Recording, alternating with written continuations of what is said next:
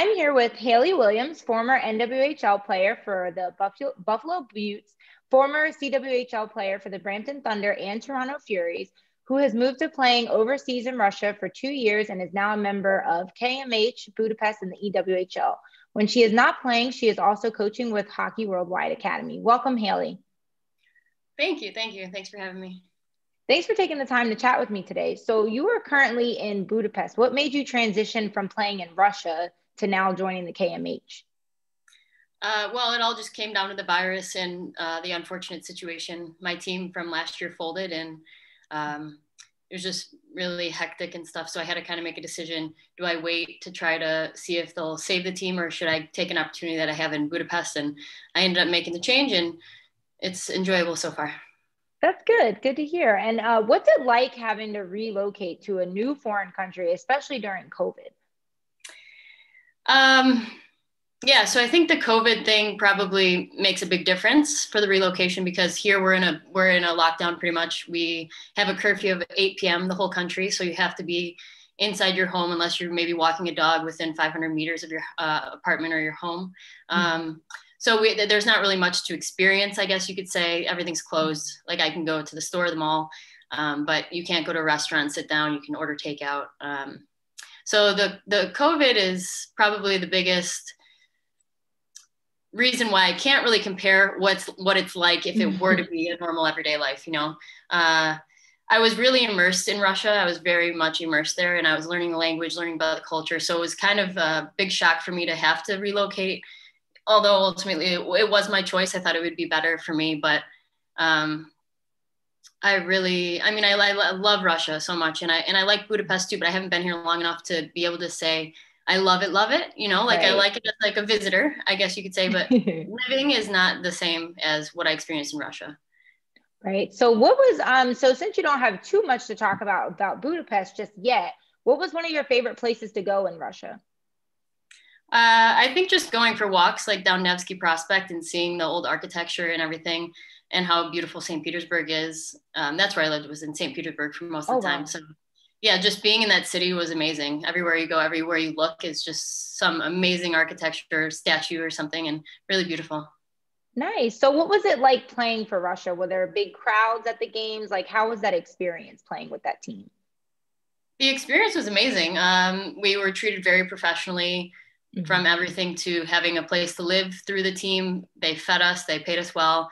Uh, the fans were not that, we didn't have many fans. I mean, the ones that we did have were loyal and I feel like it's pretty similar around around the world for women's hockey. It's kind of try to grow the game right. in all different countries. So, um, yeah, but I mean, overall, it was a great experience. I, I really liked it, the feel of the professional athlete life, right? So I didn't have to have another job. I was able to just focus on playing and and um, progressing throughout that time there and actually learning the language like i said just learning the culture obviously i had to adjust uh, the biggest adjustment of my life because nobody spoke english so that was like the oh, most yeah here it's much different everybody speaks english my coach coaches in oh, english wow. so it's just much different than that type of culture shock Nice. So I know I had a friend in high school who tried to learn Russian and she said it, it was so difficult because the alphabet is extremely like it's just different. It's not the same. Like in Spanish or French, you can kind of relate it back to the English alphabet, but a Russian, like learning that language. So I couldn't imagine. Did you pick up any of the language at all or?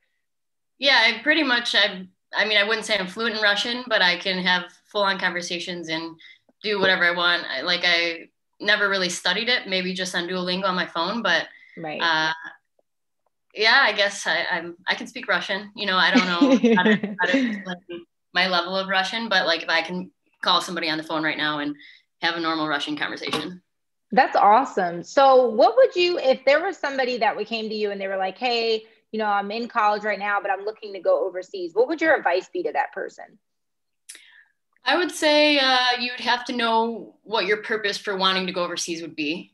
Uh, like if you wanted to play competitive hockey, if you want, if it was about hockey and you wanted to mm-hmm. go somewhere and, and, fight for your spot and and you know make a good salary and, and hockey is really the life that you're living, then I would say that going over to Russia would be a good good idea. But for as as an import player, that they mm-hmm. there's a huge expectation for you. So it's not like you're just going over to go over for a year and have a good overseas experience which I'm saying it is a good overseas experience, but it's not like you're every weekend you have, or whenever you have the games off, you're now traveling to a different country. There, there, there.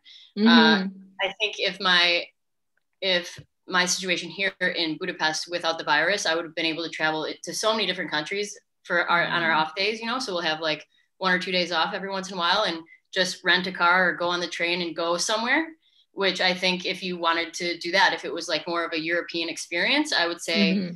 maybe in the EWHL, which is where I play now, would be a better idea. Or the Sweden uh, Swedish league has, you know, there's leagues all over. There's leagues all over Europe, but I would say uh, if you're looking for something, it depends on what you're looking for, right? right. So it depends. On, you'd have to know why do you want to go overseas? Like one one and done. Like I want to go for a year, experience the cultures around. Maybe maybe Budapest, right? So you can just go right. travel around. But if it's like I want to play a five year career at the most competitive league that I can after college, then Russia would be a good. I would say Russia would be a good league, or the Swedish. That's league. awesome. So yeah. what um what countries what other countries have you been to just to visit? Um. Well, I've been to obviously Russia, Hungary, mm-hmm. Poland, uh, Estonia, Lithuania, Latvia, China, Italy, Spain. Mm, I have probably more that I can't think of right now. Uh, Greece, I've been to. Oh, yeah, oh wow. To yeah, I've been to a lot of countries, and I'm so fortunate. It's all because of hockey. Like That's all of my awesome. that I've been overseas were all related to hockey. So, I mean, besides awesome. like obviously I'm here, so I can go do that visiting and stuff like that. So, but if I wasn't here already, then it wouldn't be because of hockey, right? Right.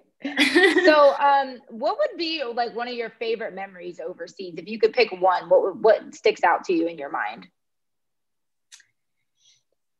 um i think just my everyday I, I don't know if i have one well i guess probably when it comes down to it the all-star weekends for for the mm-hmm. russian league when i was in two all-star weekends was just really a professional experience they really put on a good show and everything so that's probably memory wise would mm-hmm. be probably those two weekends. But um, just like the everyday experience of like growing as a person, I think is probably what I'll remember. Like just learning a new language, learning about new cultures, putting myself in these situations that are not comfortable, right? Like it's not right. anything that is known to me. And the person that I feel like I'm becoming because of these experiences is really what I'll remember forever. And I also That's fostered awesome. a couple dogs here in Budapest. So that, those, I'll remember those little guys too. Nice. How many dogs did you foster?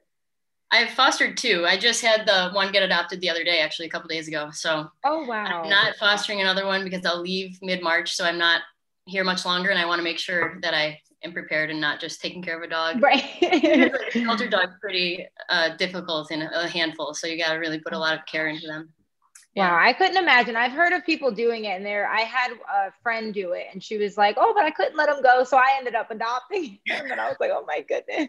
I couldn't so imagine. Years. Yeah, it was just yeah. crying my eyes out. Even before my first foster dog, I'm just like bawling in the locker room before the game. Oh. I'm like, I'm oh. so sorry. I don't mean to cry, but I just gave my dog away. Who's like, yeah, because you get attached. You definitely get attached. I mean, you're taking care of them. They might have been through something really difficult, and you're maybe helping them get back their strength or whatever. So I can understand you develop a really strong bond with them, even though it might be a short amount of time. Yeah. That's awesome. So I noticed on your Instagram that you started teaching yourself piano. How is that going? Well, unfortunately, I don't have a piano here in Budapest, but when I was in Russia, so I left, I still have my piano that was in Russia. Man, I was so, I so dedicated to that too. I really was. I was, I, I kind of forgot about it until you reminded me, but that was like July ish, like July till September. I was teaching myself for like two and a half months and I was practicing every day. And I was all, I could already play three songs, like not fast, not like, you know, whatever famous musician, but right like I was proud of myself, but I haven't played since September 22nd. So I, I oh. never remembered, but I will pick that up again. Yeah. So that's but, awesome. Yeah. Awesome. So um, we're going to get ready to go into our lightning round questions as we wrap up our conversation. So I'll just go ahead and start. So your favorite pregame song? Ooh, I don't have one. I just put it on shuffle. Yeah. just put it on shuffle. Okay. Your favorite TV show? Uh, right now, Glee. I'm nice. really into Glee. Yeah. Nice musical. Okay, your favorite holiday? Christmas. Nice, me too. So, what is one place that you want to travel that you haven't visited yet? I'd like to go to Thailand. That's uh, somewhere that's been on my list for a while and something that's been talked about and close to doing even last year, but then the, the virus. So, yeah, that's definitely a place that I would want to go to. So, your favorite pregame meal?